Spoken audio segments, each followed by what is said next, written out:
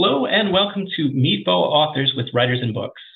My name is Dan Hurd. I'm the Director of Adult Programs. Writers and Books is a nonprofit literary arts center in Rochester, New York. We offer readings, workshops, a bookstore, and literary programming for people of all ages and backgrounds. We're so happy to collaborate with BOA Editions to bring you readings and conversations with their fall slate of authors.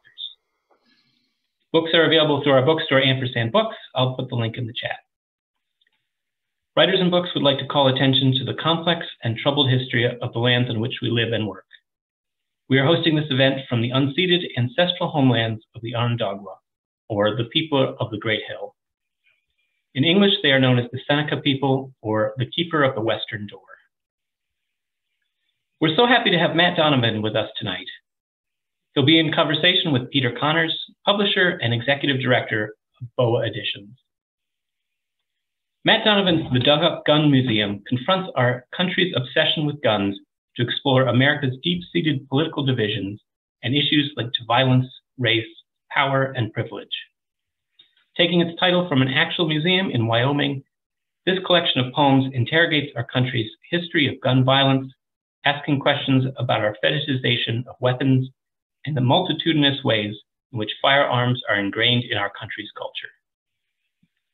Matt Donovan is the author of two previous collections of poetry, Rapture and the Big Bam and Vellum, and a book of lyric essays, A Cloud of Unusual Size and Shape, Meditations on Ruin and Redemption. His work has been published in numerous literary journals. He is the recipient of a Whiting Award, a Rome Prize in Literature, a Pushcart Prize, the Levis Reading Prize, and an NEA Fellowship in Literature. He serves as director of the Boutelle-Day Poetry Center at Smith College. Matt, thank you so much for being here. Dan, thank you so much. I am really pleased to be here. Thank you for that introduction. Um, and thank you to all of you who are out there in Zoom land. Thank you so much for making time for this reading. Um, this is the, the virtual launch of the Dug Up Gun Museum. I am um, thrilled to have this book out into the world, uh, out in the world. Um, I am really honored uh, to be a part of the BOA family. Um, I have been reading BOA books um, since I was an undergrad in college. Um, and I'm just, I couldn't be happier or more honored um, to have this book appear with BOA Editions. Um, so thank you to Dan for hosting this event. and thanks to Peter Conners for both picking up the the book and all of the everything you did to bring this um, into the world in such a in such great um, form, um, from the cover to the design. And uh, again, I'm thrilled to be a part of this reading this evening. Um, so I'll read um, four poems um, before I have a chance to have a conversation with Peter. We'll do a, a Q&A after a bit, um, which I'm really looking forward to as well. Um, but this, yeah, this book did, um, it stemmed from, you know, feelings of um, grief and anger about our ongoing epidemic of um, gun violence, but also um, feelings of the uh, motivated by the futility of our lack of political, authentic political discourse um, about uh, issues around firearms too, and just our failures of empathy um, and our failures to enact any kind of meaningful change.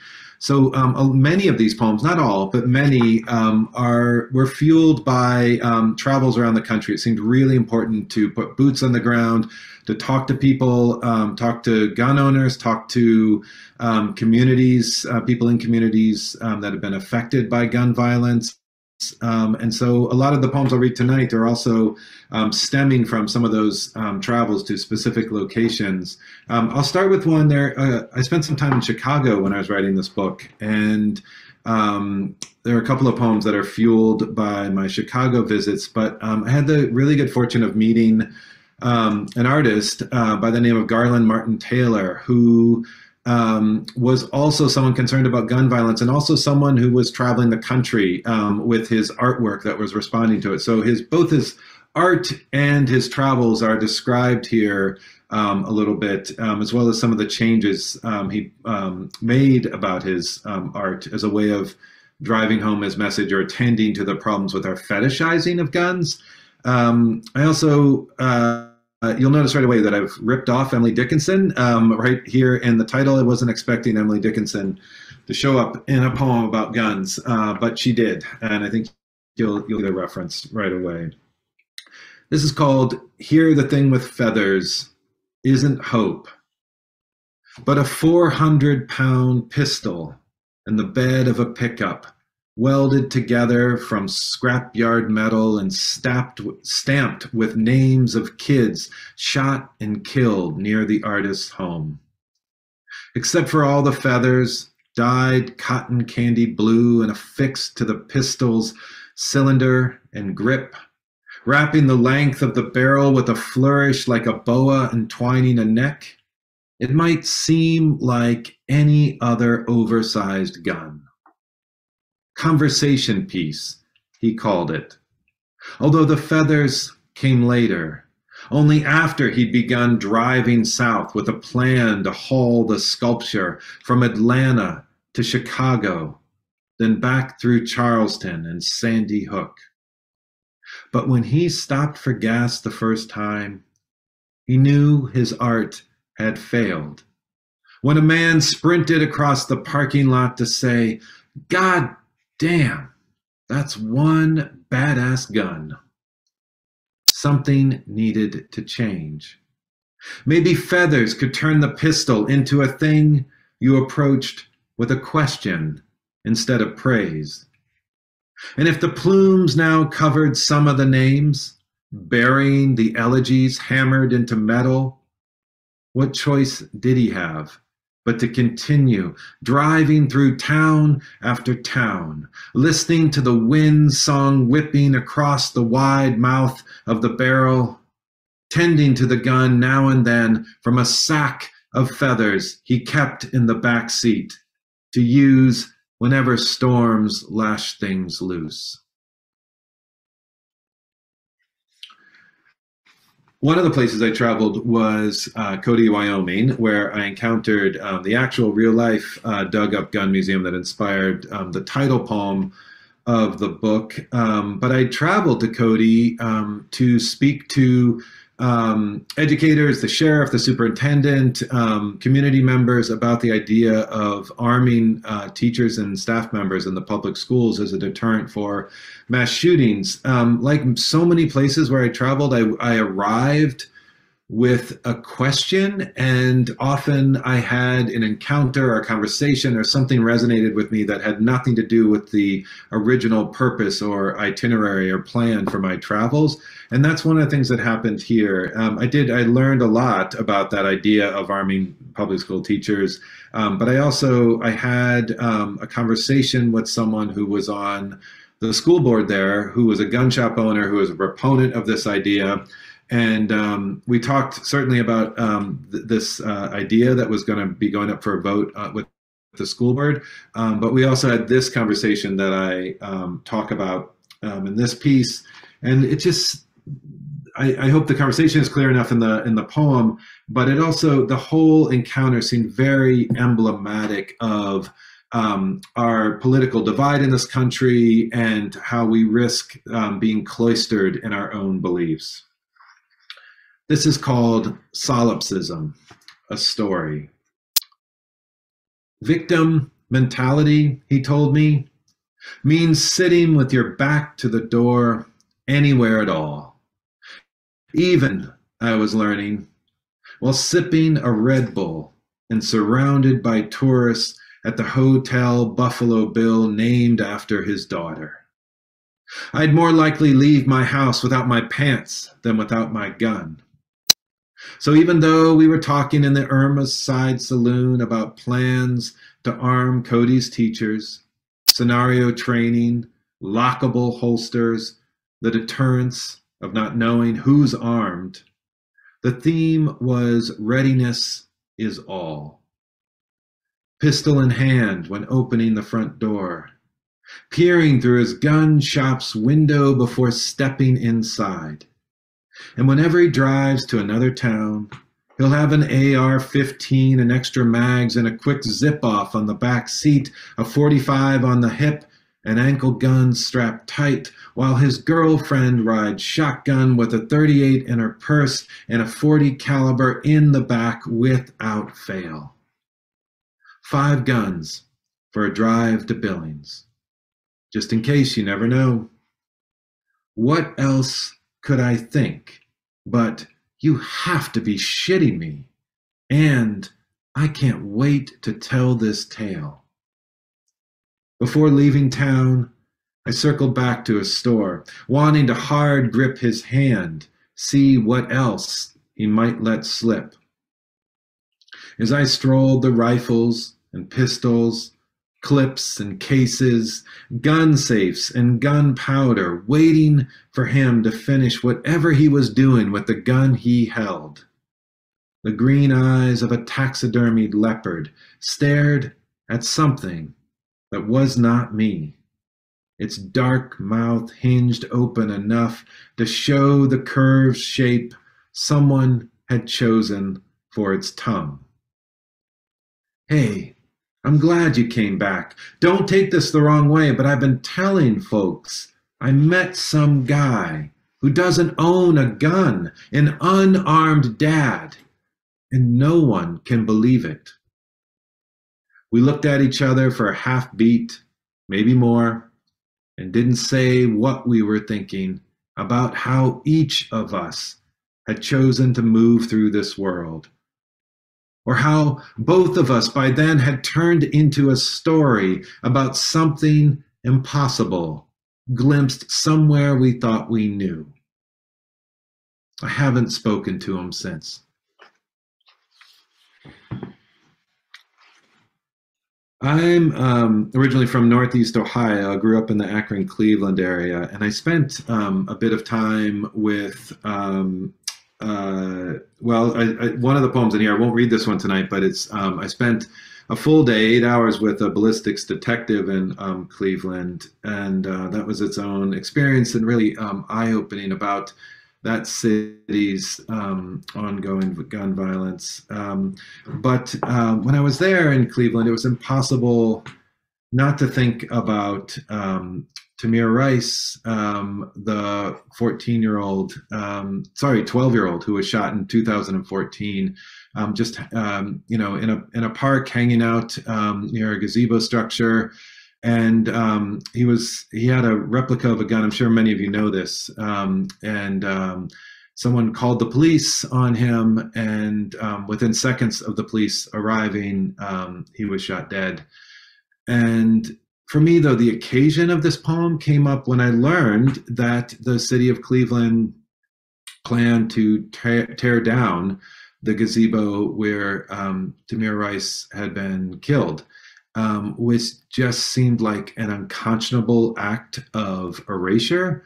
Um, and what I, in doing some research, um, I learned that the um, artist Theaster Gates, in working with Tamir Rice's mother, um, arranged for the gazebo to be um, taken down in Cleveland, um, transported to Chicago, where it was re, um, rebuilt, where it could remain as a site of um, a memorial site, but also a site of reflection on racial injustice and, and gun violence in America.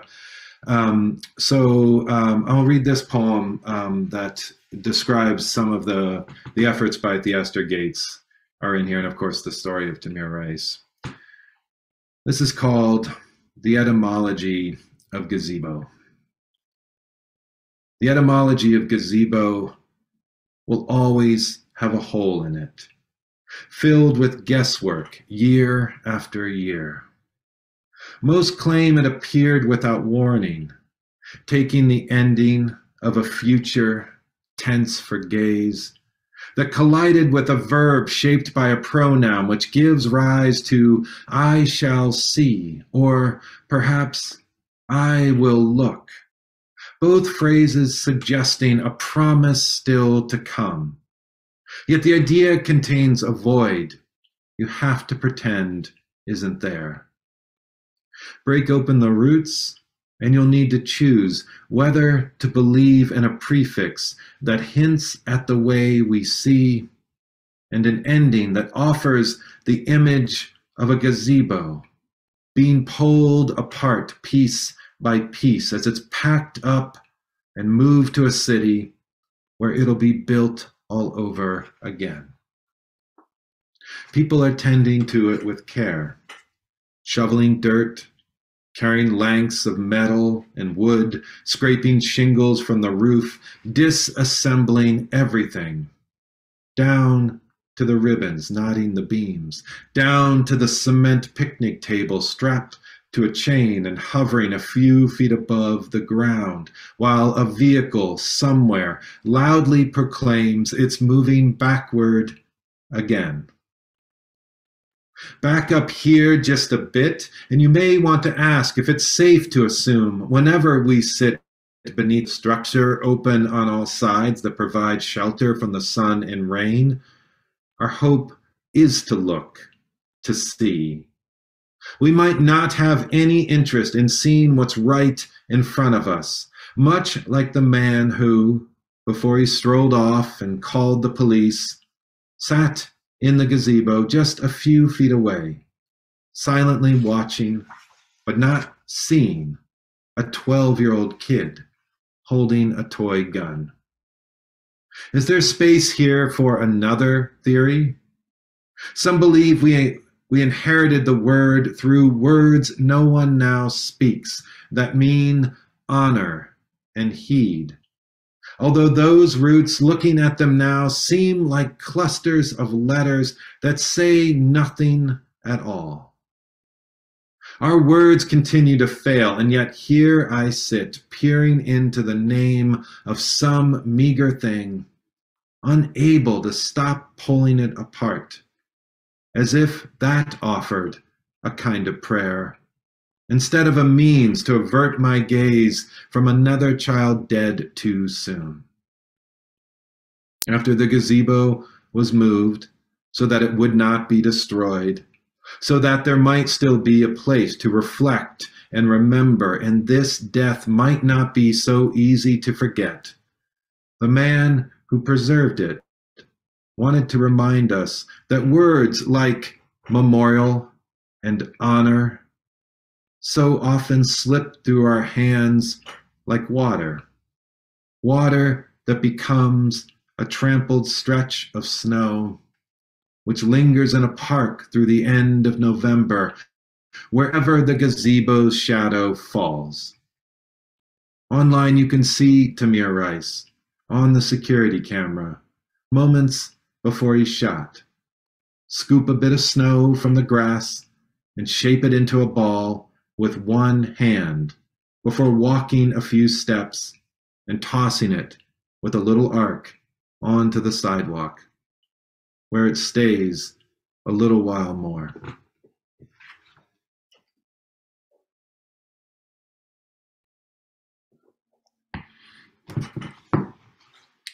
I'll um I'll read um, one of the early poems in the book. I um, I traveled to um, and this will be the last poem I read before uh, my Q&A with Peter.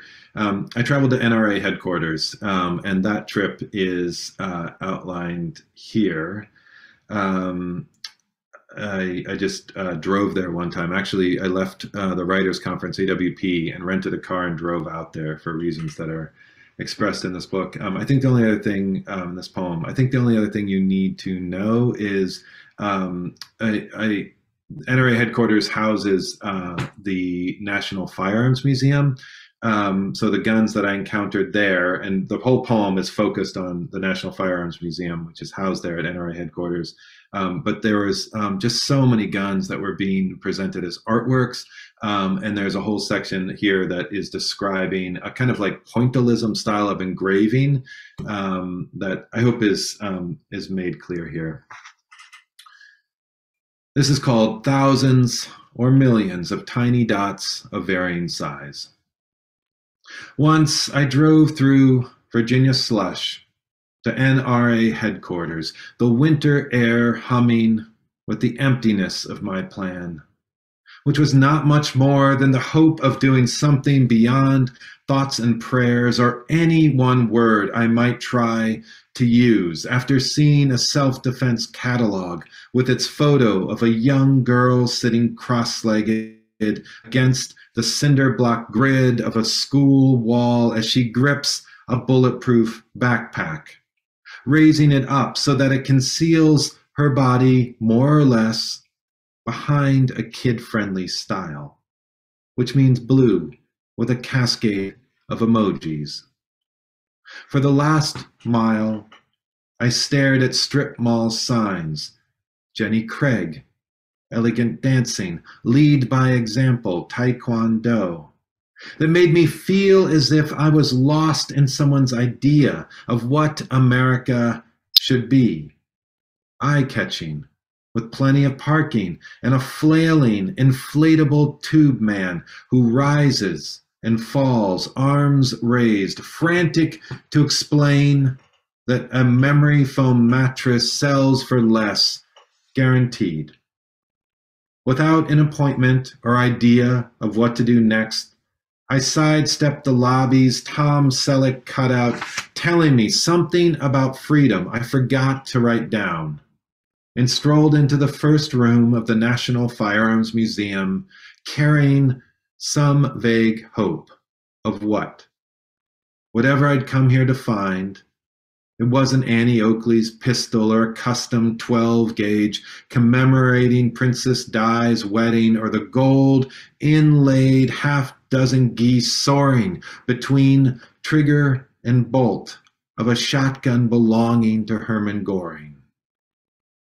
A few lines of wall text described bulino's style which meant, I learned, the process of utilizing thousands or millions of tiny dots of varying size to create subtly shaded scenes, which ranged from two coonhounds charging quail sheltered in long tangles of grass to a rifle's photorealistic Rolls Royce careening toward a woman, topless, lips parted, nestled against a tiger and peering into one mounted magnifying glass, I saw a gun engraved with a tribute to Picasso, featuring, I swear, a miniature Guernica that mimicked, mimicked each detail of his horse and bull, the one jagged light, and those bodies we've seen so many times, necks craned back, each mouth in a wail,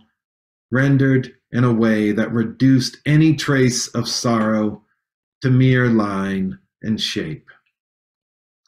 America, I'm done with prayers and mirrored vitrines, the yellow dots of emojis wide eyed on a kid's armored backpack, and black dots too numerous to count, spread across those maps that track gun violence, and for what? Then again, here I am speaking to you within the silence of a poem, which is not much more than a form of prayer we've heard too many times that makes nothing change. By the time I'd finished wandering through the other rooms, it was too late to do anything but drive the same roads back to the hotel while half listening to classic rock and chasing after an idea about how we should step back and see the shape made by those black dots scattered across the US map. Although, haven't we done that already? Stepped back and looked and long known what we've made? Thank you.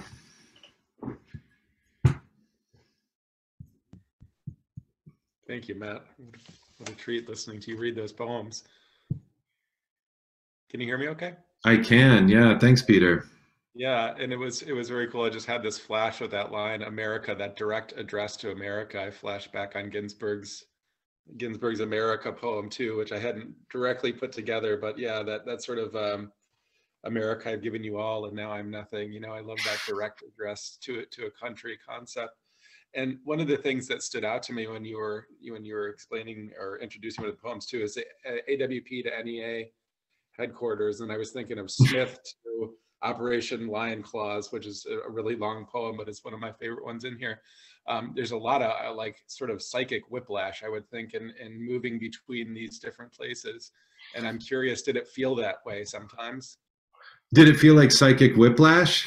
Um, yes, 100%. Um, yeah, I mean that, and but I think the surreal nature of that, of the the surreal collisions, um, was um, something that I experienced, but also something I very much wanted to articulate and describe and engage with in the book. I mean, I don't know what I expected driving to NRA headquarters, for instance, but the fact that it the headquarters looked so normalized um, that you know was just in this area surrounded by um, strip malls. I mean, there's something um, jarring about that for me, but also something emblematic about you know the ways in which these guns are interwoven into the the fabric of our lives, um, and you know to to be somewhere like um, you know. Uh, I don't think it's overtly described in the book, but one of the locations I went to is a place called uh, Machine Gun Vegas, right, where you can just shoot a machine gun um, for pleasure. And for me, um, one of the most, I thought, revealing parts of uh, going to a place like uh, Machine Gun Vegas was going to the gift shop and seeing, you know, talk about psychic whiplash, like the ways in which you would see. Um, you know, for instance, a, a cross that was, um, you know, uh, made up of shotgun shells, and um, I, I, I experienced a psychic whiplash, and then I wish that our country would look at something like that. You know, what does it mean that we have a cross made up of shotgun shells? I mean, that seems to be an occasion for self-reflection that we haven't come to yet as a country. Yeah, and yet at the same time, I feel like crosses and bloodshed have been um, sort of always joined together, going back. You know, as as long as that's been a symbol. Absolutely, absolutely. Um, I'm curious, what was your experience with firearms before you started this? Had you had any personally? No, never. I, am I'm, I'm not a gun owner, um, and um, I um, I don't. There's nothing about guns that I like. But that was one of the reasons why I, I felt really motivated to do this uh, the traveling. Um, and it was a it was a great conversation starter i have to admit. When i would go somewhere i would i would say to someone you know i i don't know much about guns. This issue seems really complicated and if you could just talk to me. And so admitting that from the outset um, did seem to open the door um, to conversation. And actually that person there um, from the the um, Cody gun shop that I described. Um, he was, um, you know, a complicated figure in a lot of ways, but he also schooled me um, right early on during my travels, where he wrote, he responded to my initial query. I'd emailed him and said, "I'm writing a book about gun culture in America," and when we sat down, he said to me, what do you mean by gun culture? And he pointed out to me the ways in which I was thinking about that in a monolithic, reductive way and uh, and that was important to hear you know i mean one of the things that was really important to me i, I didn't uh, come away from my travels um, feeling any better about guns in america um, but i did feel that the only possibility for any change um, would s- predicated on authentic uh, authentic change was predicated on authentic dialogue you know actually having real conversations and bringing people to the table rather than just yelling the same familiar lines at each other. Yeah, I, I personally think that's one of the more radical aspects of the book. It's not even mm. necessarily stance on firearms or not, but the dialogue. You know, the fact that you were having these conversations. And when I first read the manuscript, I I, I just flashed on um, George Plimpton. You know, in the playing for the for the NFL with his sort of participatory journalism. You know, giving it a shot and and seeing what that was like and I felt like this was in a lot of ways the the poetic equivalent of participatory journalism. You know, mm. you sort of embedded yourself in the story and told it from that perspective. Yeah. Um, and then somehow like around the edges of even a poetry of witness too, you know, but on a sort of a national national scale as opposed to one single incident, like, you know, witnessing the whole culture. Yeah. Yeah, no, I really appreciate that. Thanks for that. Um, and that again, that was really important for these pieces in my travels. Um, and but when I the the, the piece you mentioned um, earlier, um, uh, so it was it was sort of an act of undercover uh, poetry in some ways, which is the first time I've ever done that. Um, where Operation Bulldog um, was that the piece that you mentioned earlier, or was it the D-Day piece? Oh no, Operation Lion Claws. Fort Operation, yeah, exactly. So um, Operation Lion Claws was um, a place that uh, was an airsoft military simulation at uh, Fort Hood um, in Texas.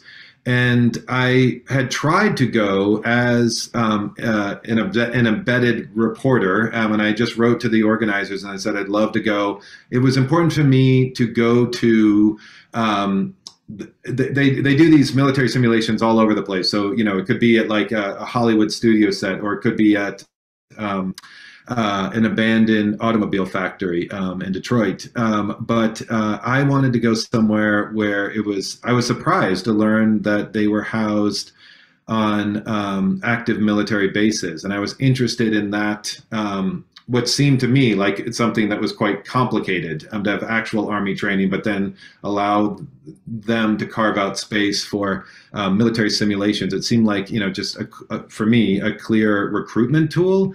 Um, so I wanted to go to Fort Hood, and I was told that I couldn't go as an observer because it was federal military property. So that's when I had to enlist as someone who was going to participate in the military simulation, which is not anything I'd wanted to do, um, and it was something, frankly, I was kind of embarrassed to do when I was doing it. Um, it felt inherently problematic and a little silly, um, but um, but it also seemed really important to get there and, and have a sense of what that experience was like. And the main takeaway for me was the ways in which um, the tropes of war and gunfire um, were just um, celebrated and romanticized, even eroticized, um, and the kind of ecstatic excitement around it. That was my big takeaway. Yeah, and I think it was so crucial for you to to get you know to be there and and do these interviews. I, I try and imagine this book without that element, and I don't think it would have. I don't think it would have worked. I think you're you're being embedded in this is such a crucial part of why this book works so well. Oh, thank you. Um, that was my wife's least favorite part of my travels that I did that particular trip. Um, but um, you know, for for so much of it, it was. I mean, for me, I, I didn't before I began this book, I didn't know anything about uh, airsoft, or I didn't know anything about the kind of um, the paintball.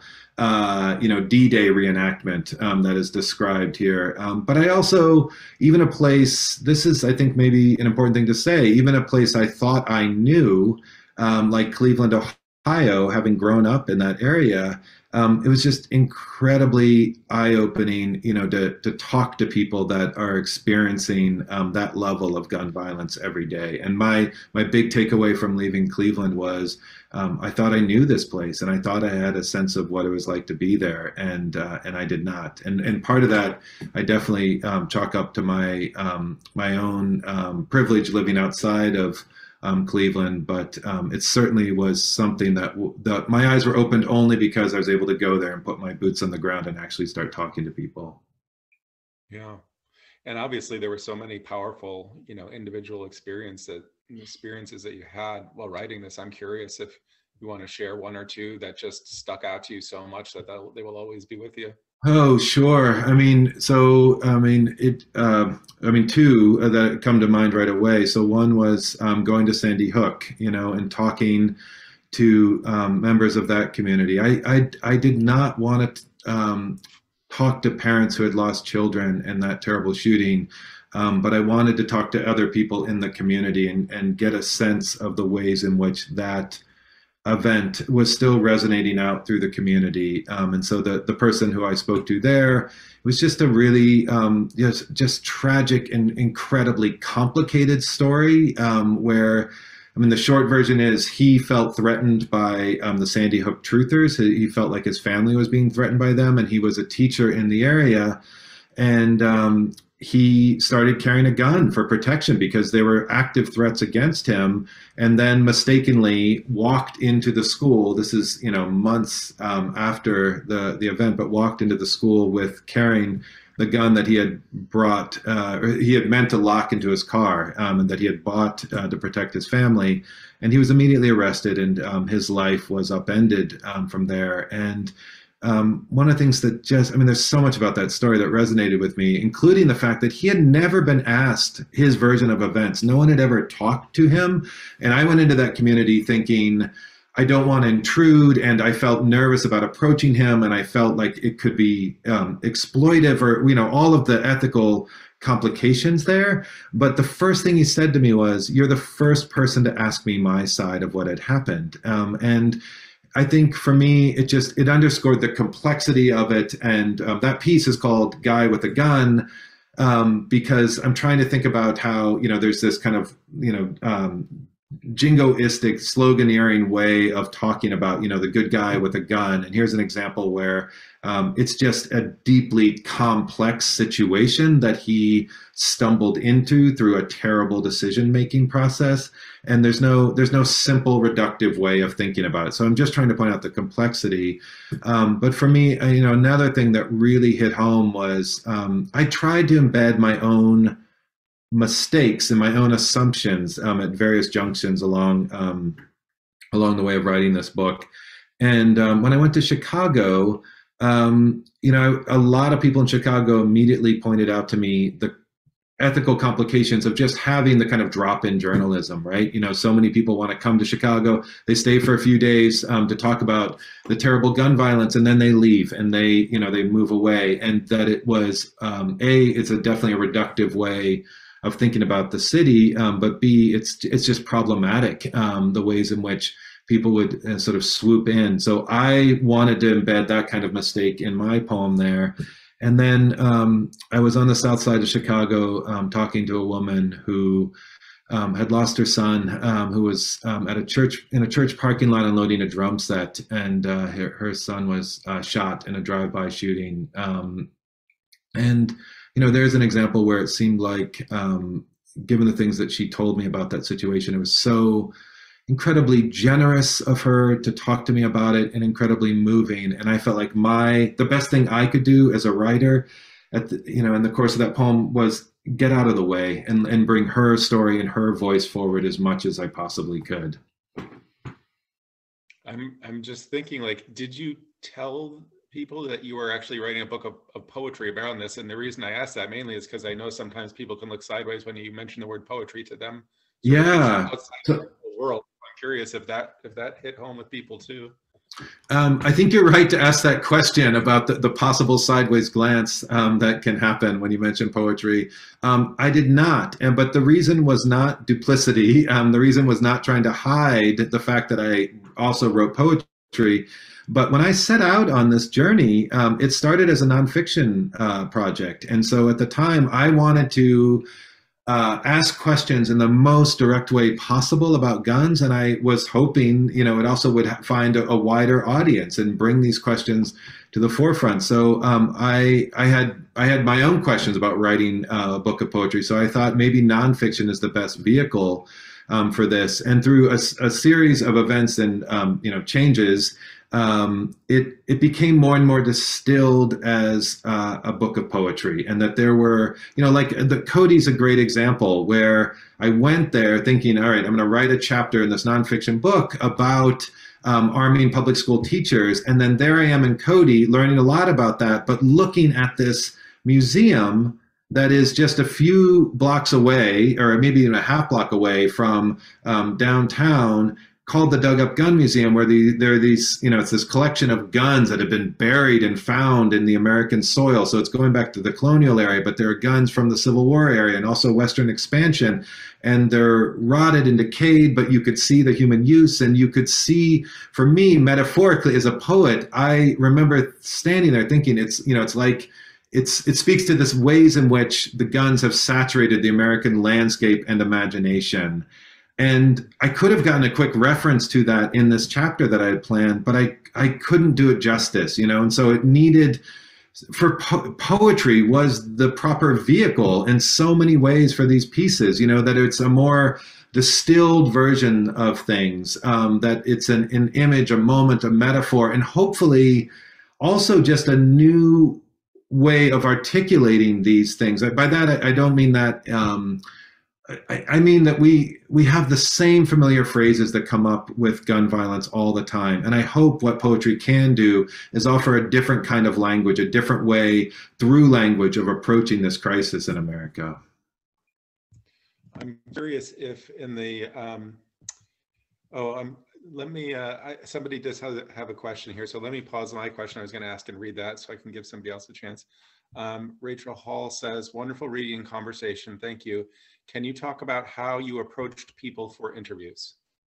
Yeah, that's a great question. Thank you. Um, so um, for a lot of um, of the of the gun owners and um, people um, involved with guns, who I wanted to approach, um, I, I, as I was saying before, it was I, I would start the conversation by saying, I want to ask you some questions about guns. Um, I don't know much about guns. I want to learn more. It seems important to learn more, and that really did crack open the conversation, and that was really important to do um, and um, it, it, was a great way of um, not tricking people into talking, but getting the conversation going. Um, and one like so, and th- there's a there's a whole chapter I had about hunting, for instance, um, that didn't make its way into this book. But I I went out um, on a duck hunting uh, experience with my brother-in-law in rural Michigan, and uh, you know there's an example where i was just you know saying to him i want to learn more. And one of the great takeaways from that experience was um, as a hunter, he was an incredible, incredibly responsible gun owner. Most of the hunters he knew were, um, and also he was an incredible steward of the land. You know that he could name the landscape, he could name the ducks, the birds, the um, the trees in a way that kind of shamed me as a poet, and that was one big takeaway too. So I would, I, you know, the biggest thing was just getting out there and telling people I want to learn more, and I would that was um, it was really eye opening how just that in itself, you know, got the conversation going. Yeah, I mean the, the, the sort of vulnerability of entering into it that way, I think is is is in the was a funny term to use, but in the best way, disarming. Um, yeah, right. Yeah. Most people to open up. So I'm curious, having gone into this with really no personal gun experience, has your view of firearms changed to the course of the project? Um, I yes uh, is the short answer. Um, I mean, I am still, in, you know, like so many of us, um, just still filled with such rage and grief that we haven't been able to enact any meaningful legislative change. Um, so, I mean, that is my bottom line. Um, at the same time, um, I, I suspected this before my travels, but as I went out and talked to people um, what I felt more and more is um, that it's just it's so critical to have that dialogue. And when things I, I think on both sides actually this is the I, I, think one thing that did change for me. Um, I had so many gun owners talk to me about the idea when people say things like take all the guns away how that is worse than a non-starter right? That that is um, I mean, it's that it that it's not possible, and that they are feeling punished as responsible gun owners. So um, they that that shut the conversation down and did damage to the possibility of moving forward. Um, so my attitude towards guns hasn't changed, but my my sense of the possibility of um, gun owners being able to contribute to a solution has certainly changed too. I learned about an organization called the 97%, which is, you know, that idea of 97% of gun owners want to have meaningful change. They want to have background checks. Um, they want to have a national database um, for guns. And that's 97%. You know, the idea that um, to vilify all gun owners in a uniform way is, um, you know, just again worse than a non-starter and deeply problematic, and um, certainly not offering any further solution to the problem. What would you hope that readers take away from the book? That's a great question. Um, I mean, I, I hope that uh, I hope it would open up the possibility of an empathetic um, engagement um, because I think one of the things that I'm so deeply concerned about is the normalization of this violence, the way in which we might have an initial response of um, feeling like, oh, that's that's tragic, or there's you know there's like the the numbers are quick to it's easy to see those and move on and scroll through with you know whatever else and turn the channel.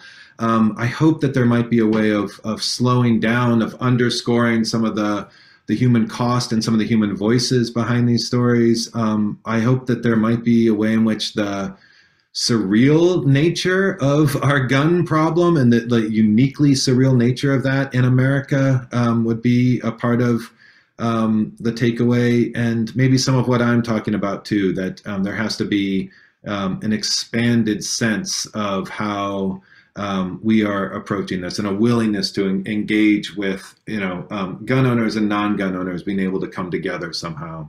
I did I, I, didn't write the book you know toward changing policy right? It is a book of poetry but i'm hoping that you know language and some of these stories might facilitate some of the things i'm talking about if that makes sense.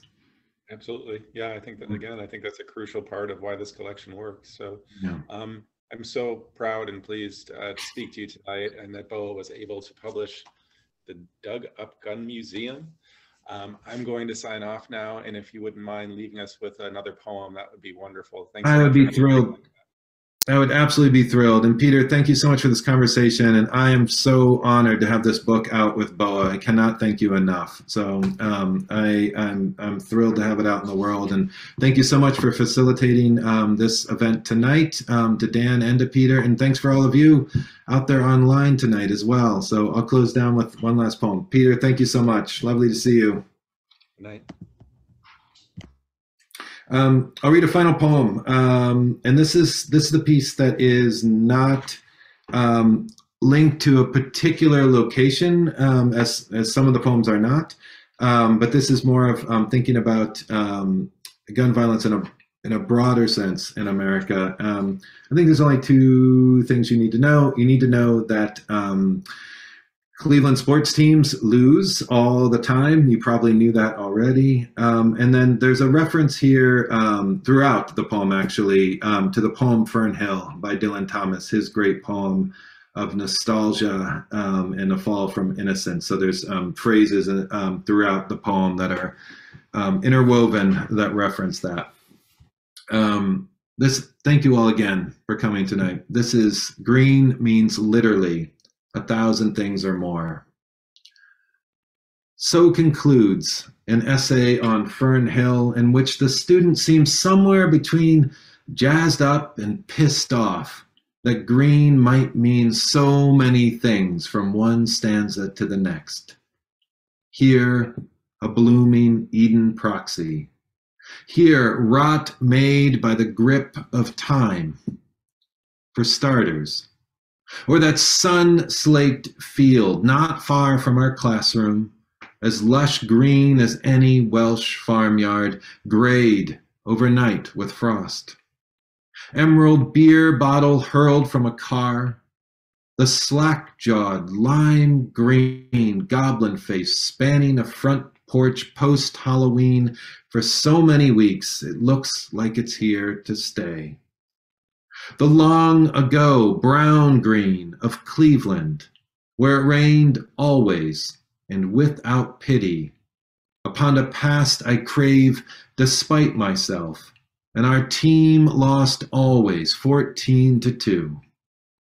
Every time we waited in the bleachers for the game to resume, my father would look down upon the outfield's mowed lines and proclaim, Still a lot of green out there meaning anything can happen and will.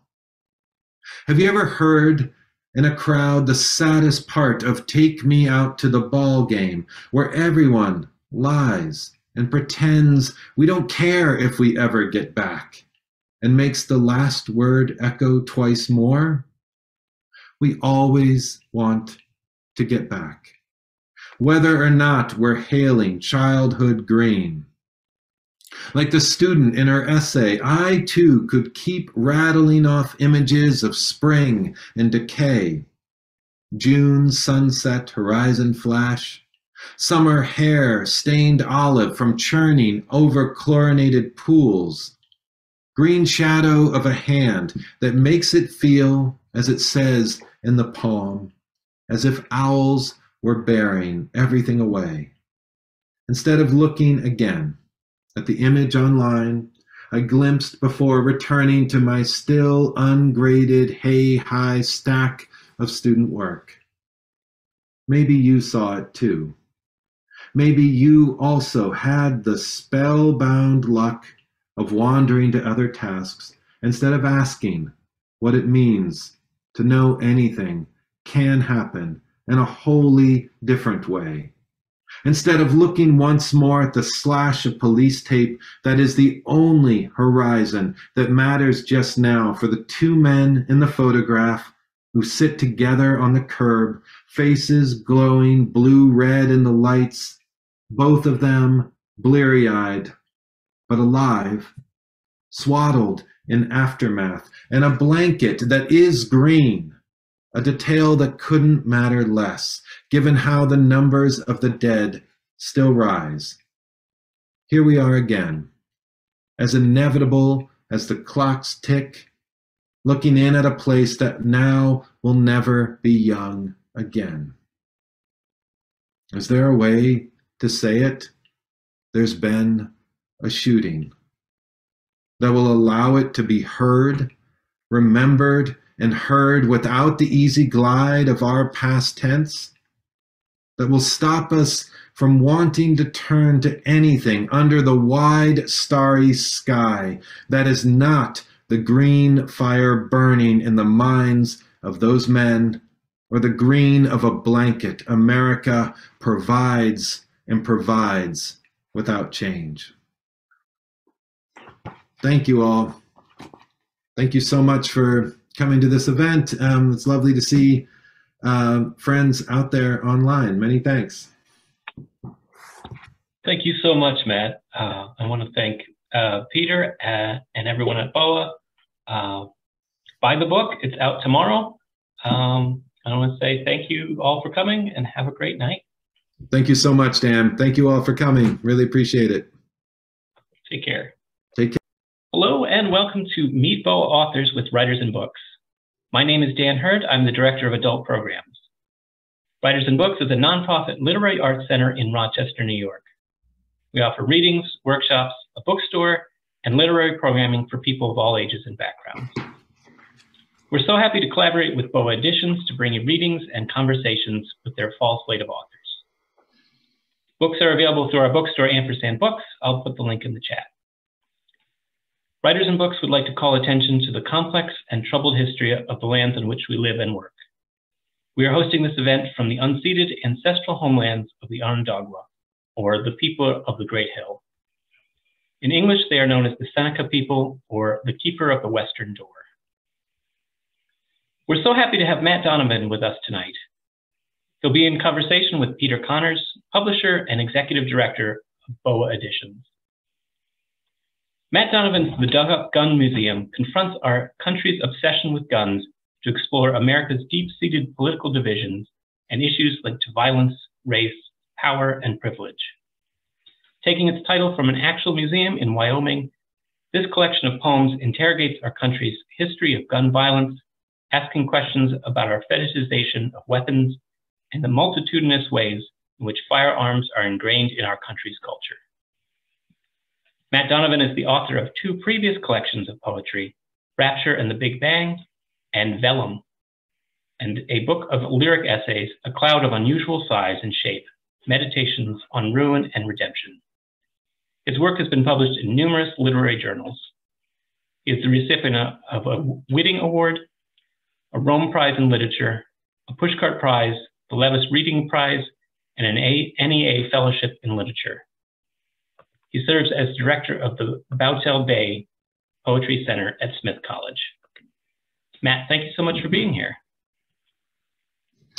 Dan, thank you so much. I am really pleased to be here. Thank you for that introduction. Um, and thank you to all of you who are out there in Zoom land. Thank you so much for making time for this reading. Um, this is the, the virtual launch of the Dug Up Gun Museum. I am um, thrilled to have this book out into the world, uh, out in the world. Um, I am really honored uh, to be a part of the BOA family. Um, I have been reading BOA books um, since I was an undergrad in college. Um, and I'm just, I couldn't be happier or more honored um, to have this book appear with BOA Editions. Um, so thank you to Dan for hosting this event. and thanks to Peter Conners for both picking up the, the book and all of the everything you did to bring this um, into the world in such a in such great um, form, um, from the cover to the design. And uh, again, I'm thrilled to be a part of this reading this evening. Um, so I'll read um, four poems before I have a chance to have a conversation with Peter. We'll do a, a Q&A after a bit, um, which I'm really looking forward to as well. Um, but this, yeah, this book did. Um, it stemmed from you know feelings of um, grief and anger about our ongoing epidemic of um, gun violence, but also um, feelings of the uh, motivated by the futility of our lack of political, authentic political discourse um, about uh, issues around firearms too, and just our failures of empathy um, and our failures to enact any kind of meaningful change. So um, many of these poems, not all, but many, um, are were fueled by um, travels around the country. It seemed really important to put boots on the ground, to talk to people, um, talk to gun owners, talk to um, communities, uh, people in communities um, that have been affected by gun violence, um, and so a lot of the poems I'll read tonight are also um, stemming from some of those um, travels to specific locations. Um, I'll start with one there. Uh, I spent some time in Chicago when I was writing this book, and um, there are a couple of poems that are fueled by my Chicago visits, but um, I had the really good fortune of meeting an artist uh, by the name of Garland Martin Taylor, who um, was also someone concerned about gun violence and also someone who was traveling the country um, with his artwork that was responding to it. So his both his art and his travels are described here um, a little bit, um, as well as some of the changes um, he um, made about his art as a way of driving home his message or attending to the problems with our fetishizing of guns. I also uh, uh, you'll notice right away that I've ripped off Emily Dickinson um, right here in the title. I wasn't expecting Emily Dickinson to show up in a poem about guns, uh, but she did, and I think you'll you'll get a reference right away. This is called "Here the Thing with Feathers Isn't Hope, but a 400 pound pistol in the bed of a pickup." Welded together from scrapyard metal and stamped, stamped with names of kids shot and killed near the artist's home.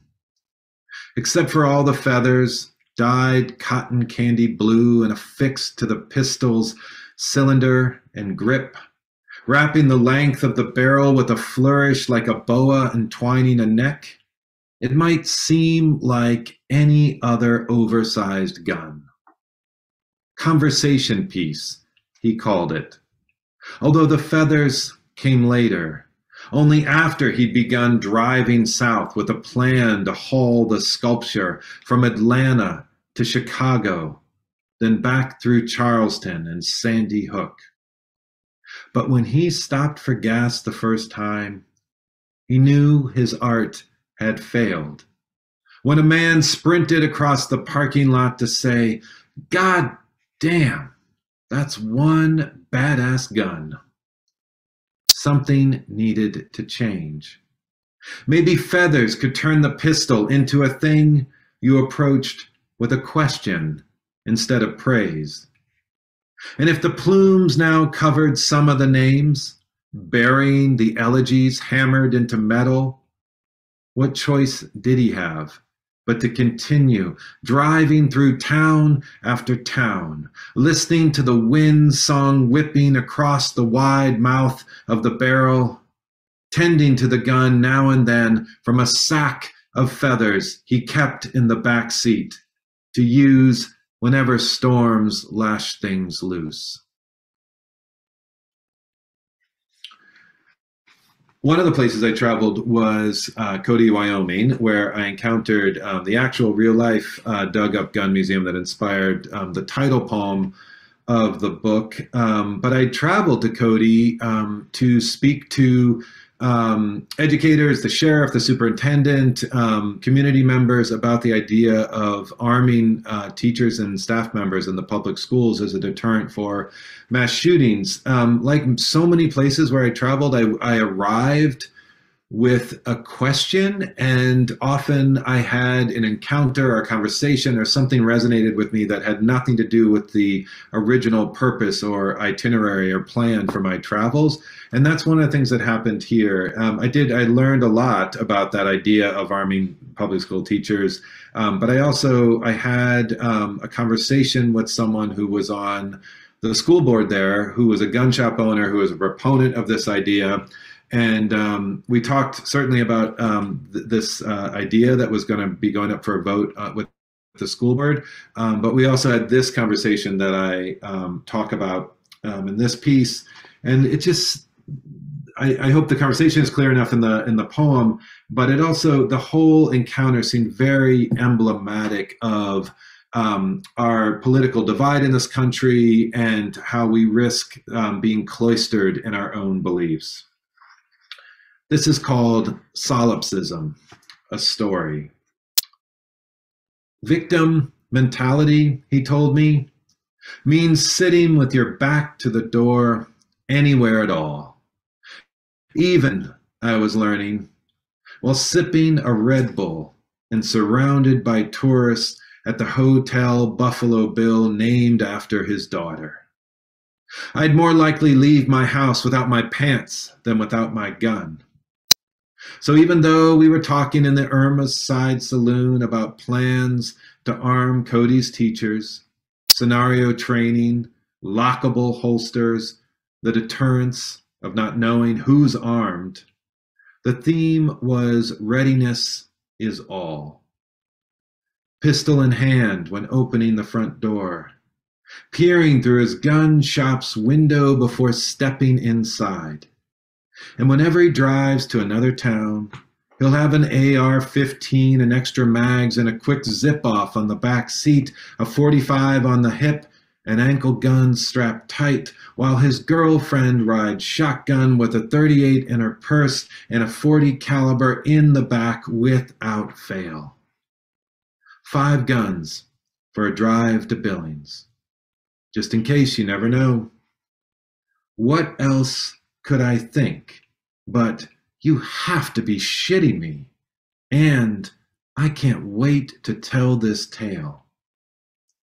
Before leaving town, I circled back to his store, wanting to hard grip his hand, see what else he might let slip. As I strolled the rifles and pistols clips and cases, gun safes and gunpowder, waiting for him to finish whatever he was doing with the gun he held.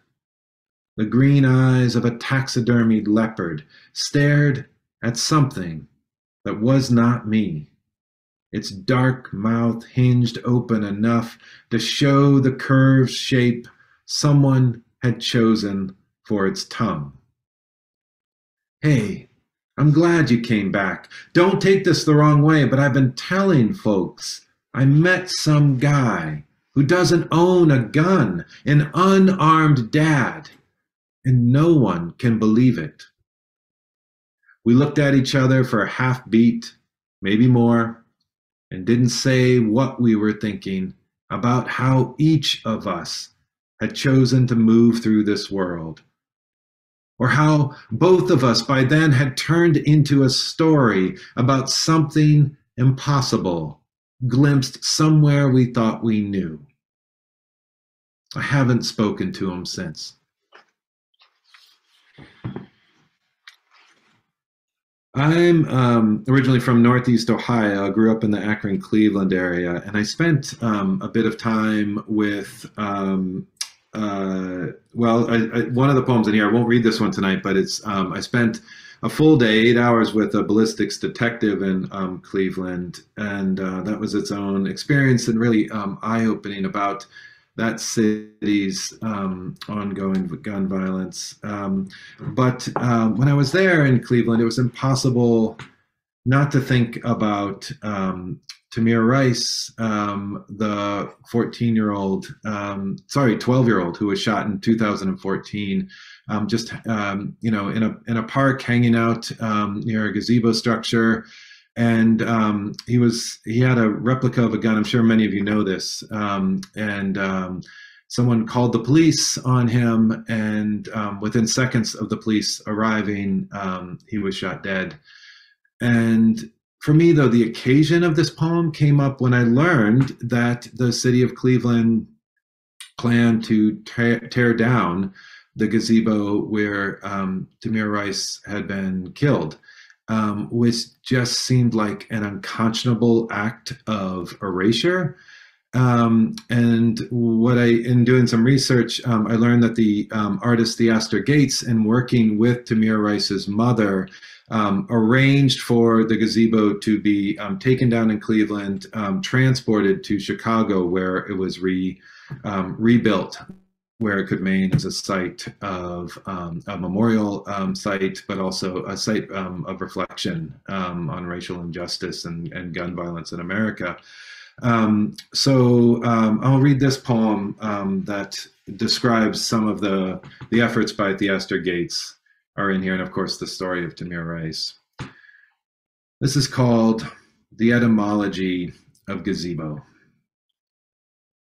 The etymology of gazebo will always have a hole in it, filled with guesswork year after year.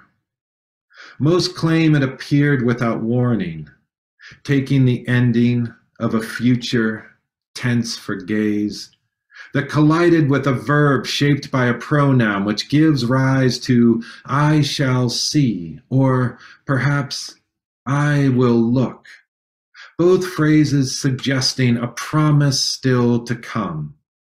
Yet the idea contains a void you have to pretend isn't there.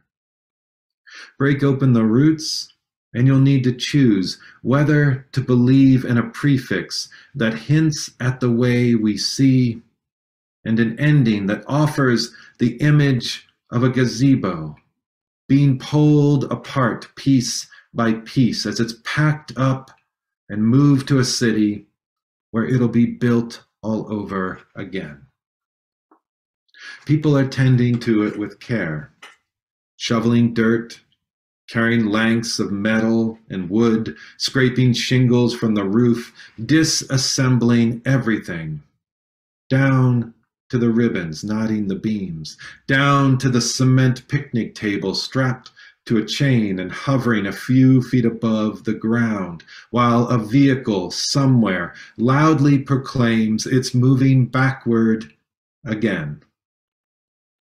Back up here just a bit, and you may want to ask if it's safe to assume whenever we sit beneath structure open on all sides that provides shelter from the sun and rain, our hope is to look, to see, we might not have any interest in seeing what's right in front of us, much like the man who, before he strolled off and called the police, sat in the gazebo just a few feet away, silently watching, but not seeing, a 12 year old kid holding a toy gun.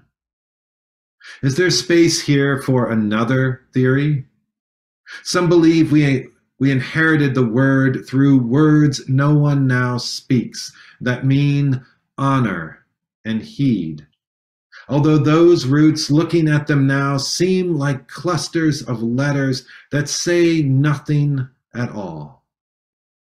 Our words continue to fail, and yet here I sit, peering into the name of some meager thing, unable to stop pulling it apart as if that offered a kind of prayer, instead of a means to avert my gaze from another child dead too soon.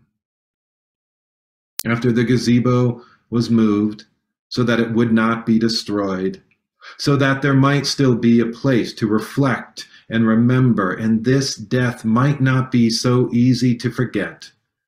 The man who preserved it wanted to remind us that words like memorial and honor so often slip through our hands like water. Water that becomes a trampled stretch of snow, which lingers in a park through the end of November, wherever the gazebo's shadow falls. Online, you can see Tamir Rice on the security camera, moments before he's shot.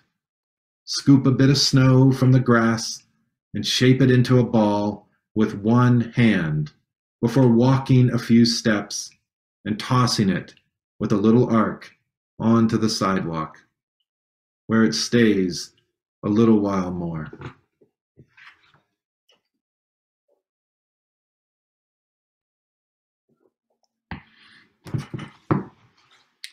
I'll um, I'll read um, one of the early poems in the book. I um, I traveled to um, and this will be the last poem I read before uh, my Q and A with Peter.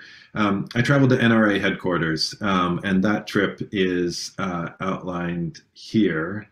Um, I, I, just uh, drove there one time. Actually, I left uh, the writers' conference, AWP, and rented a car and drove out there for reasons that are expressed in this book. Um, I think the only other thing um, in this poem, I think the only other thing you need to know is um, I, I, NRA headquarters houses uh, the National Firearms Museum.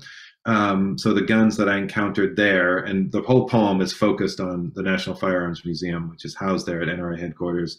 Um, but there was um, just so many guns that were being presented as artworks. Um, and there's a whole section here that is describing a kind of like pointillism style of engraving um, that I hope is um, is made clear here.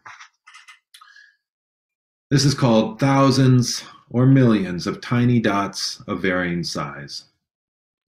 Once I drove through Virginia slush to NRA headquarters, the winter air humming with the emptiness of my plan, which was not much more than the hope of doing something beyond thoughts and prayers or any one word I might try to use after seeing a self defense catalog with its photo of a young girl sitting cross legged against the cinder block grid of a school wall as she grips a bulletproof backpack, raising it up so that it conceals her body more or less behind a kid friendly style, which means blue with a cascade of emojis. For the last mile, I stared at strip mall signs Jenny Craig, elegant dancing, lead by example, taekwondo, that made me feel as if I was lost in someone's idea of what America should be. Eye catching, with plenty of parking, and a flailing, inflatable tube man who rises and falls, arms raised, frantic to explain that a memory foam mattress sells for less, guaranteed. Without an appointment or idea of what to do next, I sidestepped the lobby's Tom Selleck cutout telling me something about freedom I forgot to write down, and strolled into the first room of the National Firearms Museum carrying some vague hope of what? Whatever I'd come here to find, it wasn't Annie Oakley's pistol or a custom 12 gauge commemorating Princess Di's wedding or the gold inlaid half dozen geese soaring between trigger and bolt of a shotgun belonging to Hermann Goring. A few lines of wall text described bulino's style, which meant, I learned, the process of utilizing thousands or millions of tiny dots of varying size to create subtly shaded scenes, which ranged from two coonhounds charging quail sheltered in long tangles of grass to a rifle's photorealistic Rolls Royce careening toward a woman, topless, lips parted, nestled against a tiger and peering into one mounted magnifying glass, I saw a gun engraved with a tribute to Picasso, featuring, I swear, a miniature Guernica that mimicked, mimicked each detail of his horse and bull, the one jagged light, and those bodies we've seen so many times, necks craned back, each mouth in a wail, rendered in a way that reduced any trace of sorrow to mere line and shape. America, I'm done with prayers and mirrored vitrines, the yellow dots of emojis wide eyed on a kid's armored backpack, and black dots too numerous to count, spread across those maps that track gun violence, and for what? Then again, here I am speaking to you within the silence of a poem, which is not much more than a form of prayer we've heard too many times that makes nothing change. By the time I'd finished wandering through the other rooms, it was too late to do anything but drive the same roads back to the hotel while half listening to classic rock and chasing after an idea about how we should step back and see the shape made by those black dots scattered across the US map. Although, haven't we done that already? Stepped back and looked and long known what we've made? Thank you.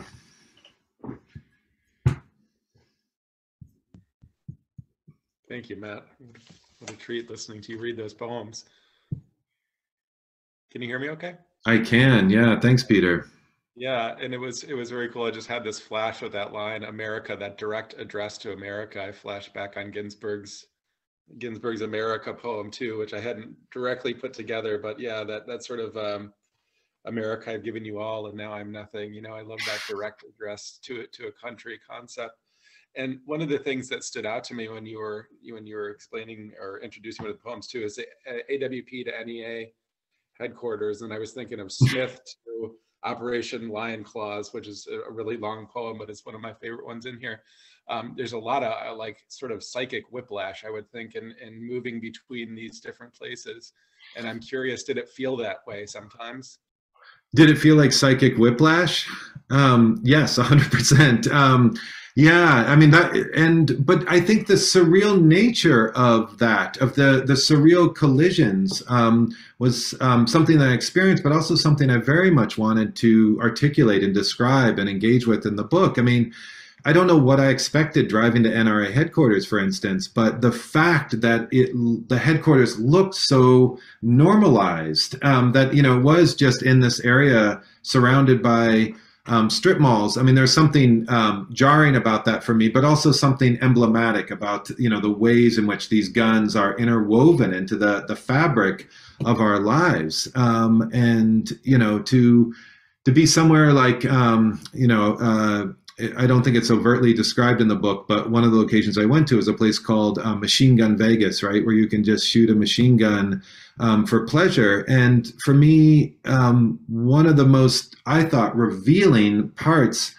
of uh, going to a place like uh, Machine Gun Vegas was going to the gift shop and seeing, you know, talk about psychic whiplash, like the ways in which you would see. Um, you know, for instance, a, a cross that was, um, you know, uh, made up of shotgun shells, and um, I, I, I experienced a psychic whiplash, and then I wish that our country would look at something like that. You know, what does it mean that we have a cross made up of shotgun shells? I mean, that seems to be an occasion for self-reflection that we haven't come to yet as a country.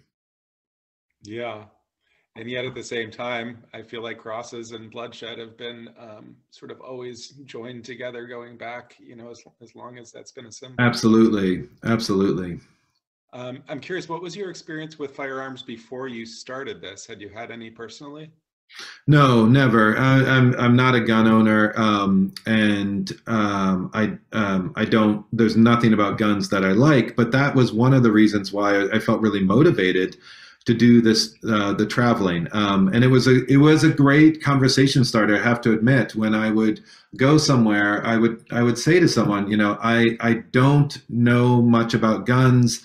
This issue seems really complicated and if you could just talk to me. And so admitting that from the outset um, did seem to open the door um, to conversation. And actually that person there um, from the the um, Cody gun shop that I described, um, he was um, you know a complicated figure in a lot of ways, but he also schooled me um, right early on during my travels, where he wrote he responded to my initial query. I'd emailed him and said I'm writing a book about gun culture in America, and when we sat down, he said to me. What do you mean by gun culture? And he pointed out to me the ways in which I was thinking about that in a monolithic, reductive way and uh, and that was important to hear you know i mean one of the things that was really important to me i, I didn't uh, come away from my travels um, feeling any better about guns in america um, but i did feel that the only possibility for any change um, would predicated on authentic, uh, authentic change was predicated on authentic dialogue, you know, actually having real conversations and bringing people to the table rather than just yelling the same familiar lines at each other. Yeah, I, I, personally think that's one of the more radical aspects of the book. It's not even mm. necessarily stance on firearms or not, but the dialogue. You know, the fact that you were having these conversations. And when I first read the manuscript, I I, I just flashed on um, George Plimpton. You know, in the playing for the for the NFL with his sort of participatory journalism. You know, giving it a shot and and seeing what that was like. And I felt like this was in a lot of ways the the poetic equivalent of participatory journalism. You know, mm. you sort of embedded yourself in the story and told it from that perspective. Yeah. Um, and then somehow, like around the edges of even a poetry of witness too, you know, but on a sort of a national national scale as opposed to one single incident, like you know, witnessing the whole culture. Yeah, yeah, no, I really appreciate that. Thanks for that. Um, and that again, that was really important for these pieces in my travels. Um, and but when I the the, the piece you mentioned um, earlier, um, uh, so it was it was sort of an act of undercover uh, poetry in some ways, which is the first time I've ever done that. Um, where Operation Bulldog um, was that the piece that you mentioned earlier, or was it the, the D-Day piece? Oh no, Operation Lion Claws. For- Operation, yeah, exactly. So um, Operation Lion Claws was um, a place that uh, was an airsoft military simulation at uh, Fort Hood um, in Texas and I had tried to go as um, uh, an, an, embedded reporter, um, and I just wrote to the organizers and I said I'd love to go. It was important for me to go to. Um, they, they do these military simulations all over the place. So you know it could be at like a, a Hollywood studio set, or it could be at um, uh, an abandoned automobile factory um, in Detroit. Um, but uh, I wanted to go somewhere where it was, I was surprised to learn that they were housed on um, active military bases. And I was interested in that, um, what seemed to me like it's something that was quite complicated um, to have actual army training, but then allow them to carve out space for um, military simulations. It seemed like, you know, just a, a, for me, a clear recruitment tool. Um, so I wanted to go to Fort Hood, and I was told that I couldn't go as an observer because it was federal military property. So that's when I had to enlist as someone who was going to participate in the military simulation, which is not anything I'd wanted to do. Um, and it was something, frankly, I was kind of embarrassed to do when I was doing it. Um, it felt inherently problematic and a little silly, um, but um, but it also seemed really important to get there and, and have a sense of what that experience was like. And the main takeaway for me was the ways in which um, the tropes of war and gunfire um, were just um, celebrated and romanticized, even eroticized, um, and the kind of ecstatic excitement around it. That was my big takeaway. Yeah, and I think it was so crucial for you to to get you know to be there and and do these interviews. I, I try and imagine this book without that element, and I don't think it would have. I don't think it would have worked. I think you're you're being embedded in this is such a crucial part of why this book works so well. Oh, thank you. Um, that was my wife's least favorite part of my travels that I did that particular trip. Um, but um, you know, for for so much of it, it was. I mean, for me, I, I didn't before I began this book, I didn't know anything about uh, airsoft, or I didn't know anything about the kind of um, the paintball. Uh, you know, D-Day reenactment um, that is described here. Um, but I also, even a place, this is, I think, maybe an important thing to say, even a place I thought I knew, um, like Cleveland, Ohio, having grown up in that area, um, it was just incredibly eye-opening, you know, to to talk to people that are experiencing um, that level of gun violence every day. And my my big takeaway from leaving Cleveland was um, I thought I knew this place, and I thought I had a sense of what it was like to be there, and uh, and I did not. And and part of that I definitely um, chalk up to my um, my own um, privilege living outside of um, Cleveland, but um, it certainly was something that, that my eyes were opened only because I was able to go there and put my boots on the ground and actually start talking to people. Yeah, and obviously there were so many powerful, you know, individual experience that experiences that you had while writing this. I'm curious if you want to share one or two that just stuck out to you so much that they will always be with you. Oh, sure. I mean, so I mean, it. Uh, I mean, two that come to mind right away. So one was um, going to Sandy Hook, you know, and talking to um, members of that community. I I, I did not want to um, talk to parents who had lost children in that terrible shooting. Um, but I wanted to talk to other people in the community and, and get a sense of the ways in which that event was still resonating out through the community. Um, and so the, the person who I spoke to there was just a really um, just, just tragic and incredibly complicated story um, where, I mean, the short version is he felt threatened by um, the Sandy Hook truthers. He felt like his family was being threatened by them, and he was a teacher in the area.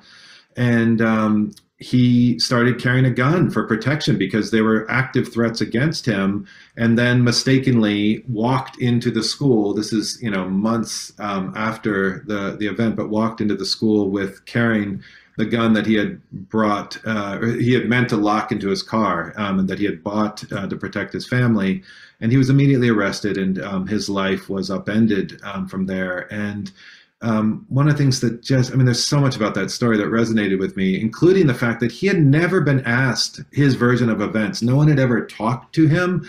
And I went into that community thinking, I don't want to intrude. And I felt nervous about approaching him. And I felt like it could be um, exploitive or, you know, all of the ethical complications there. But the first thing he said to me was, You're the first person to ask me my side of what had happened. Um, and I think for me, it just it underscored the complexity of it, and um, that piece is called "Guy with a Gun" um, because I'm trying to think about how you know there's this kind of you know um, jingoistic, sloganeering way of talking about you know the good guy with a gun, and here's an example where um, it's just a deeply complex situation that he stumbled into through a terrible decision making process.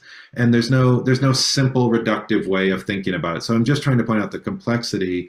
Um, but for me uh, you know another thing that really hit home was um, i tried to embed my own mistakes and my own assumptions um, at various junctions along um, along the way of writing this book and um, when i went to chicago um, you know a lot of people in chicago immediately pointed out to me the ethical complications of just having the kind of drop-in journalism, right? You know, so many people want to come to Chicago, they stay for a few days um, to talk about the terrible gun violence, and then they leave and they, you know, they move away, and that it was um, a, it's a definitely a reductive way of thinking about the city, um, but b, it's it's just problematic um, the ways in which people would uh, sort of swoop in. So I wanted to embed that kind of mistake in my poem there.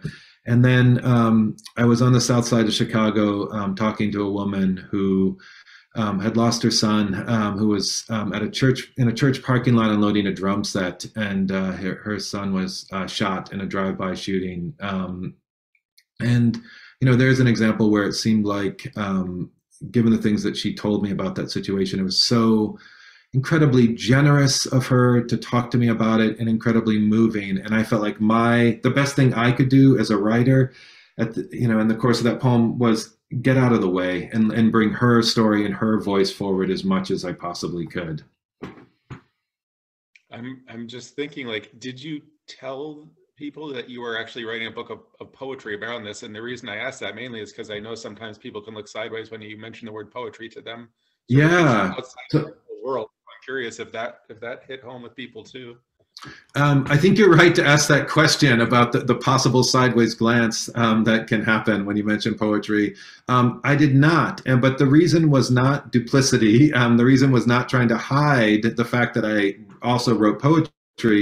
But when I set out on this journey, um, it started as a nonfiction uh, project, and so at the time I wanted to uh, ask questions in the most direct way possible about guns. And I was hoping, you know, it also would find a, a wider audience and bring these questions to the forefront. So um, I, I had, I had my own questions about writing uh, a book of poetry. So I thought maybe nonfiction is the best vehicle um, for this. And through a, a series of events and, um, you know, changes, um, it it became more and more distilled as uh, a book of poetry, and that there were, you know, like the Cody's a great example where I went there thinking, all right, I'm going to write a chapter in this nonfiction book about um, arming public school teachers. And then there I am in Cody learning a lot about that, but looking at this museum that is just a few blocks away, or maybe even a half block away from um, downtown, called the Dug Up Gun Museum, where the, there are these, you know, it's this collection of guns that have been buried and found in the American soil. So it's going back to the colonial area, but there are guns from the Civil War area and also Western expansion. And they're rotted and decayed, but you could see the human use. And you could see, for me, metaphorically, as a poet, I remember standing there thinking it's, you know, it's like, it's, it speaks to this ways in which the guns have saturated the American landscape and imagination. And I could have gotten a quick reference to that in this chapter that I had planned, but I, I couldn't do it justice, you know? And so it needed, for po- poetry was the proper vehicle in so many ways for these pieces, you know, that it's a more distilled version of things, um, that it's an, an image, a moment, a metaphor, and hopefully also just a new way of articulating these things. By that, I, don't mean that. Um, I, I, mean that we we have the same familiar phrases that come up with gun violence all the time and i hope what poetry can do is offer a different kind of language a different way through language of approaching this crisis in america i'm curious if in the um, oh i'm let me uh, I, somebody does have, have a question here so let me pause my question i was going to ask and read that so i can give somebody else a chance um, rachel hall says wonderful reading and conversation thank you can you talk about how you approached people for interviews?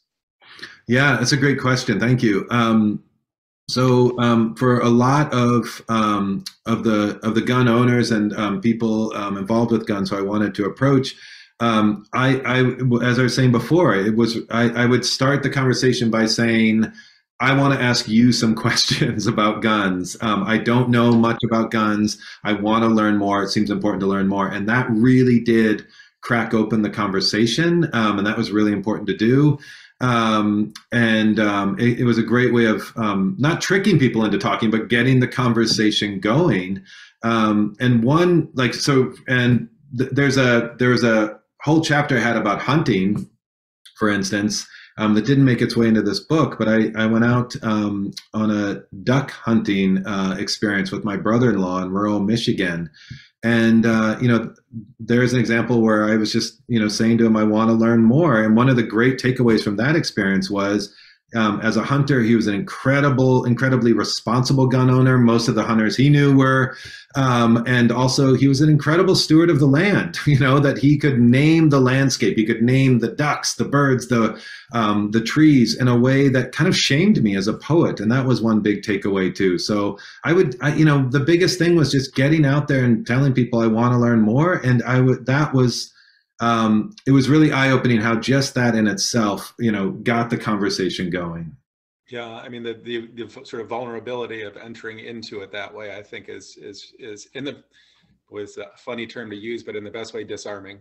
Um, yeah, right. Yeah, most people to open up. So I'm curious, having gone into this with really no personal gun experience, has your view of firearms changed to the course of the project? Um, I yes uh, is the short answer. Um, I mean, I am still, in, you know, like so many of us, um, just still filled with such rage and grief that we haven't been able to enact any meaningful legislative change. Um, so, I mean, that is my bottom line. Um, at the same time, um, I, I suspected this before my travels, but as I went out and talked to people um, what I felt more and more is um, that it's just it's so critical to have that dialogue. And when things I, I think on both sides actually this is the I, I, think one thing that did change for me. Um, I had so many gun owners talk to me about the idea when people say things like take all the guns away how that is worse than a non-starter right? That that is um, I mean, it's that it that it's not possible, and that they are feeling punished as responsible gun owners. So um, they that that shut the conversation down and did damage to the possibility of moving forward. Um, so my attitude towards guns hasn't changed, but my my sense of the possibility of um, gun owners being able to contribute to a solution has certainly changed too. I learned about an organization called the 97%, which is, you know, that idea of 97% of gun owners want to have meaningful change. They want to have background checks. Um, they want to have a national database um, for guns. And that's 97%. You know, the idea that um, to vilify all gun owners in a uniform way is, um, you know, just again worse than a non-starter and deeply problematic, and um, certainly not offering any further solution to the problem.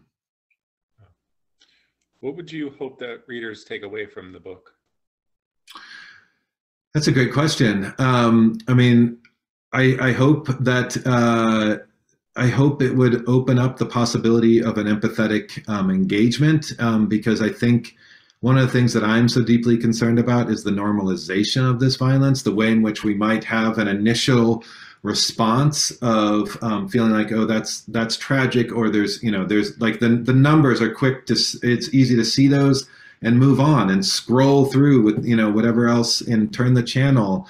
Um, I hope that there might be a way of of slowing down, of underscoring some of the the human cost and some of the human voices behind these stories. Um, I hope that there might be a way in which the surreal nature of our gun problem and the, the uniquely surreal nature of that in America um, would be a part of um, the takeaway and maybe some of what I'm talking about too, that um, there has to be um, an expanded sense of how um, we are approaching this and a willingness to en- engage with you know um, gun owners and non-gun owners being able to come together somehow. I did I, I, didn't write the book you know toward changing policy right? It is a book of poetry but i'm hoping that you know language and some of these stories might facilitate some of the things i'm talking about if that makes sense. Absolutely. Yeah i think that again i think that's a crucial part of why this collection works. So yeah. um, i'm so proud and pleased uh, to speak to you tonight and that BOA was able to publish the Dug Up Gun Museum. Um, I'm going to sign off now, and if you wouldn't mind leaving us with another poem, that would be wonderful. Thanks. I would be thrilled. I would absolutely be thrilled. And Peter, thank you so much for this conversation. And I am so honored to have this book out with BOA. I cannot thank you enough. So um, I, am I'm, I'm thrilled to have it out in the world. And thank you so much for facilitating um, this event tonight um, to Dan and to Peter. And thanks for all of you out there online tonight as well. So I'll close down with one last poem. Peter, thank you so much. Lovely to see you. Good night. Um, I'll read a final poem, um, and this is this is the piece that is not um, linked to a particular location, um, as as some of the poems are not. Um, but this is more of um, thinking about gun violence in a in a broader sense in America. I think there's only two things you need to know. You need to know that Cleveland sports teams lose all the time. You probably knew that already. Um, and then there's a reference here um, throughout the poem, actually, um, to the poem Fern Hill by Dylan Thomas, his great poem of nostalgia um, and a fall from innocence. So there's um, phrases um, throughout the poem that are interwoven that reference that. this, thank you all again for coming tonight. This is green means literally a thousand things or more. So concludes an essay on Fern Hill in which the student seems somewhere between jazzed up and pissed off that green might mean so many things from one stanza to the next. Here, a blooming Eden proxy. Here, rot made by the grip of time. For starters, or that sun slaked field not far from our classroom, as lush green as any Welsh farmyard, grayed overnight with frost. Emerald beer bottle hurled from a car, the slack jawed, lime green goblin face spanning a front porch post Halloween for so many weeks, it looks like it's here to stay the long ago brown green of Cleveland, where it rained always and without pity. Upon a past I crave despite myself, and our team lost always 14 to 2. Every time we waited in the bleachers for the game to resume, my father would look down upon the outfield's mowed lines and proclaim, Still a lot of green out there, meaning anything can happen and will. Have you ever heard in a crowd the saddest part of Take Me Out to the Ball Game, where everyone lies and pretends we don't care if we ever get back, and makes the last word echo twice more? We always want to get back whether or not we're hailing childhood green. Like the student in her essay, I too could keep rattling off images of spring and decay. June sunset horizon flash, summer hair stained olive from churning over chlorinated pools, green shadow of a hand that makes it feel, as it says in the poem, as if owls were bearing everything away. Instead of looking again at the image online, I glimpsed before returning to my still ungraded hay high stack of student work. Maybe you saw it too. Maybe you also had the spellbound luck of wandering to other tasks instead of asking what it means to know anything can happen in a wholly different way.